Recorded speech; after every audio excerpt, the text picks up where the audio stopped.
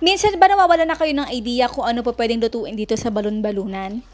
Nako, tara, wala na patumpik-tumpik pa. Dahil ngayong araw na ito ay gagawa tayo ng napakasarap na ulam, sarsa pa lang. Nako, marami na kayo makakain sa sarap.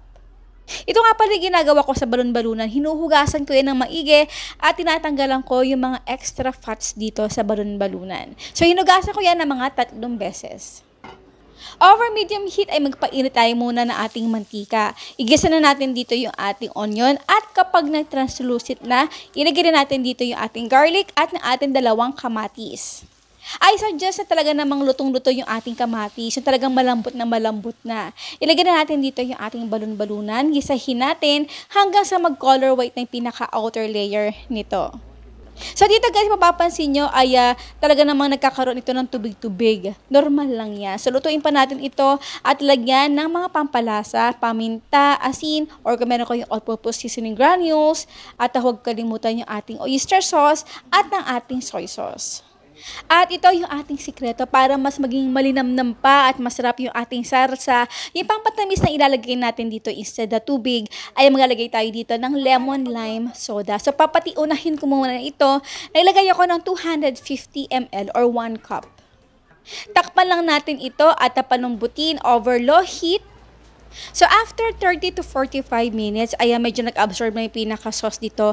Naglagay ako dito ng kalahating lata ng liver spread.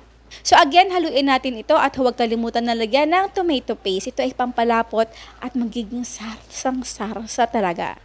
Again, lutuin lang natin ito para matanggal ng asim konti yung ating pinaka-tomato paste na nalagay dito na mga 5 minutes. At after natin ito magisa, magalagyan na tayo dito ng tomato sauce.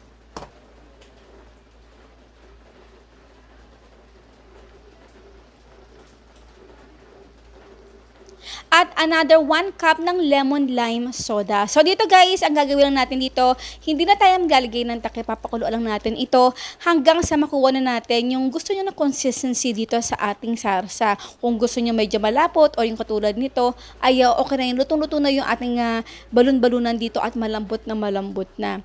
At syempre para pampaatad level alpa yung ating sarsa, nalagay ako dito ng green beans at ng siling haba. At sa kung sa oras na ito kayo pa ay nanonood, paki-comment naman sa comment box section kung saan kayo nakatira para naman malaman natin kung hanggang saan na rarating yung ating mga videos. O, di ba guys? Napakabango at napakalinamnam talaga. And now is done our balon-balunan sarsa. Aba, syempre, bago tayo magtikiman portion, ang tanong ni Mama Shirley, Anong parte ng uh, manok ang ginamit natin dito sa ating napakasarap na ulam? Syempre, ang inyong sagot sa comment box section. Nako guys, mapaulan, tag-araw, taglamig, itong ulam na to ay swak na swak.